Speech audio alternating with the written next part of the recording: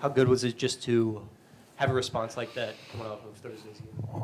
It was good. I mean, we knew what we needed to do um, tonight. We know how we need to, to play going forward, and I think sometimes it's unfortunate that it happens, but it's good to have those types of games because you realize there's a lot of stuff you need to get better at, and you realize there's a lot of stuff we can improve on internally. Even though we've been winning games and, and, and beating good teams, there's always another level I think we can get to, and I think that was um, a good wake up call for us.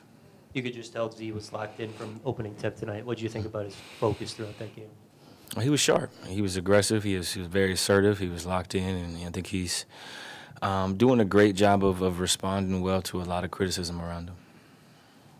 And what do you think, just just hearing the, the amount of criticism that he's received the past few days, and just kind of the nature of when he becomes the topic of discussion and when people talk about him? Yeah, I mean, he's he's the topic of a lot of discussion consistently. I think throughout his career, and I think that's a sign of his greatness, right? You know, they don't really talk about players that aren't good. They don't talk about players that that aren't. Um, MVP caliber, All NBA caliber, All-Star caliber. If he was just another guy, no one would really care. And I think that's a sign of you know his greatness. And I think for him, it's just about understanding what he needs to accomplish, understanding what he wants to accomplish, not only this season but throughout his career, and then locking in and, and really focusing on that. His talent is his talent. Um, he's going to be great most nights, and I think it's just about consistently stacking the days and consistently doing um, the little things um, each day. And I think he's heading in a good direction. And tonight was just the second time you, Bi, and Z all scored 20 in the same game. Just just hearing that, uh, what do you think, and just how much does it show us how much y'all still have ahead of y'all? You know, Yeah. even though y'all spent this much time together. I mean, we only played what 11 games together this year, so two out of 11. so I mean, I think it's it's situational. Some nights it's gonna happen, some nights it's not. But I think it's just more about um, the type of looks we're getting, um, the pace we're playing with. Are we defending? Are they rebounding? Am I helping out on the rebounds? Are we taking care of the ball? I think those are the things that are really gonna matter. We can make shots. That's not like that's not really the issue. The issue is the other stuff. Are we doing that at a high level and giving ourselves a chance to win? So I think there'll be more nights like this, especially if if big fella's gonna get 25 or 30 points in the paint, is he's gonna be able to kind of control the game. Bi's gonna get to his spots. Uh, if we can put pressure on the rim, if we can get out and run in transition, and uh, continue to, to drive and kick, and there'll be quality looks for everybody. And when you have a game like you had on Thursday, what do you, what's the most important thing for a team to kind of respond in the right way and, and kind of take it and use it in a way that you can kind of turn it into a positive and come out better afterwards? It just starts with accountability. You know, there's there's stuff we can all do better. We didn't lose because of Z. Like we lost because we didn't play well collectively as a team, and that's that's on all of us. That's on me too. So.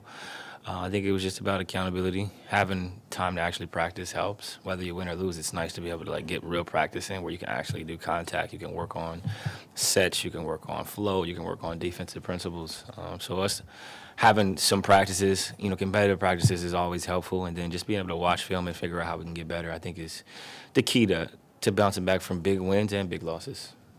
CJ, when you, going back to the criticism of Zion, did you, did you give a message to him or you just kind of handle that how he gets? I talked to him, but I'm not going to share. Yeah, but he knows what he needs to do. It's it's you've seen the response tonight. Hopefully, we can continue to play well as a team.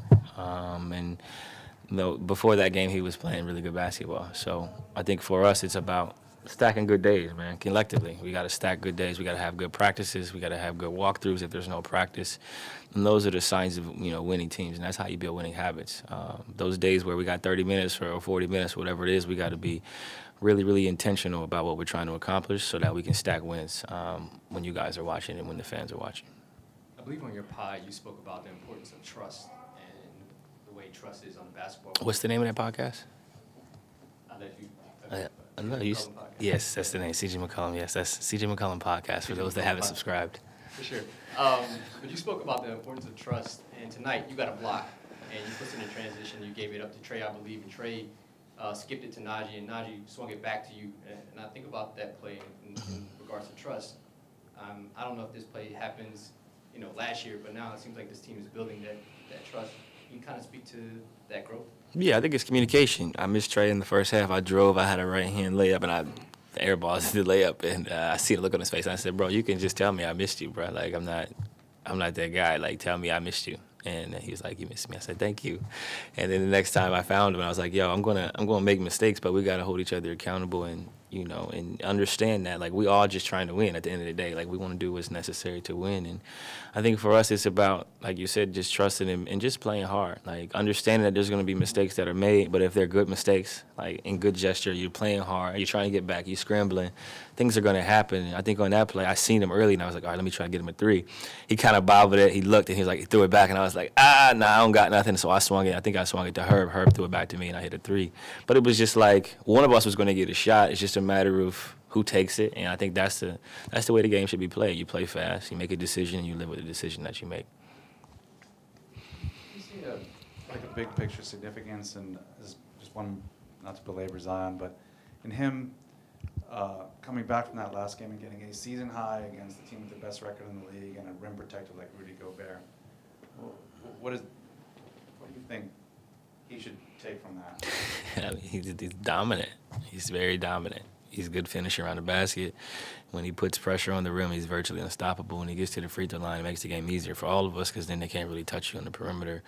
He's got great gravity. Um, I mean, you've seen this for however long he's played. Um, this is probably the best version of him. You know, add a jumper, add a couple of those things, and I don't know what else.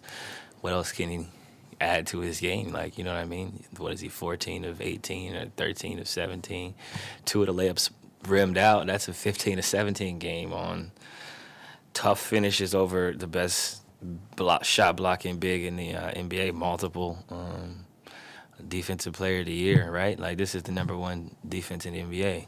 So I don't. I mean, does it get harder than that? Like I don't know. Y'all, especially since Trey came back, y'all been playing a lot of those small ball lineups where you just kind of seen uh, them groupings and uh, what you kind of like when y'all playing small? Yeah, I like the pace. I like the ability for us to switch. We just gotta take care of the ball a little bit better, rebound, secure the rebounds, and then get out and run. But uh, when you have you know space and pace, it's really hard to, to guard you. You look at a lot of teams across the league that you know are, are playing a little smaller. When you got shooting out there, when you got guys that can make quick decisions, and you also got like-sized wings who are long, athletic, and, and can defend, it makes the game very difficult for the other team because it's it's it's hard to play on offense against a team that's switching everything, and then they can get out and run on your on your misses, and they got a lot of different weapons, and it makes it very difficult on the other team. CJ? Have a good one.